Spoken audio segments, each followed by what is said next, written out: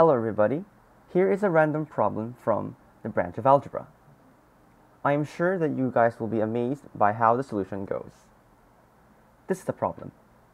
Let r sub 1, r sub 2, r sub 3, and r sub 4 be the roots to 9x to the 4th minus 3x cubed minus 101x squared plus 195x minus 100 equals 0. Compute the value of quantity r sub 1 plus r sub 2 plus r sub 3 times the quantity r sub 1 plus r sub 2 plus r sub 4 times the quantity r sub 1 plus r sub 3 plus r sub 4 times the quantity r sub 2 plus r sub 3 plus r sub 4. Let us dive into the solution. The first step is kind of obvious.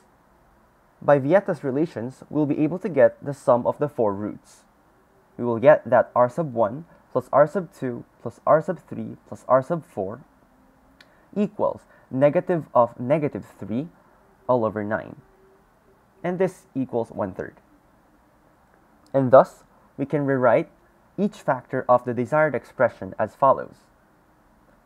r sub 1 plus r sub 2 plus r sub 3 can be rewritten as 1 third minus r sub 4 from the sum of the roots by Vieta's relations and we can do similarly for the rest of the factors. From this, it suffices to find the value of 1 third minus r sub 4 times 1 third minus r sub 3 times 1 third minus r sub 2 times 1 third minus r sub 1. Let's call this expression star. Notice how the solution will try to get the expression star by letting the left-hand side of the equation be a polynomial. So let p of x equals 9x to the fourth minus 3x cubed minus 101x squared plus 195x minus 100.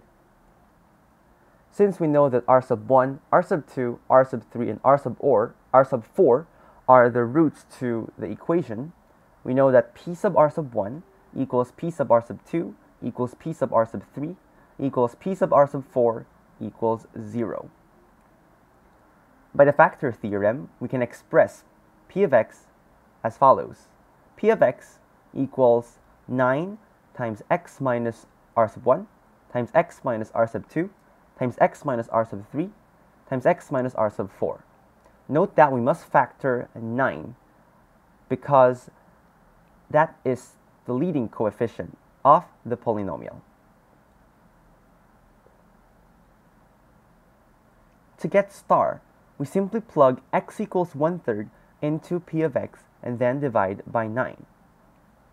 Note how if we substitute 1 third into p of x, we will get the expression 9 times 1 third minus r sub 1 times 1 third minus r sub 2 times 1 third minus r sub 3 times 1 third minus r sub 4.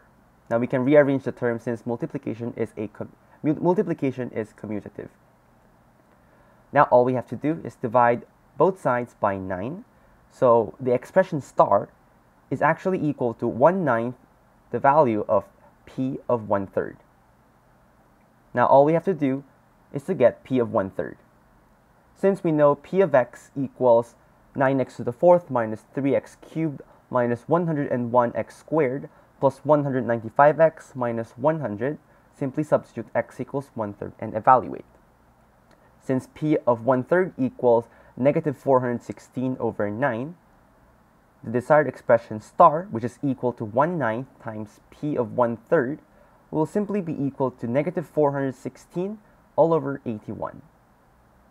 And that will be our final answer.